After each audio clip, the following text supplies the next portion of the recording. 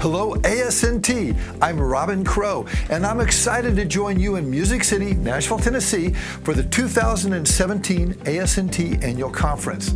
I know you just celebrated your 75th anniversary last year, and I'm thrilled to be your opening speaker as you embark on many more years of creating a safer world through non destructive testing. I also know that each year you get together to talk about best practices and innovation, and that's where I come in. Tuesday morning, I'll be sharing some game changing ideas that you can put to work immediately that will help you create more efficient processes to create a safer world. I'm looking forward to seeing you there.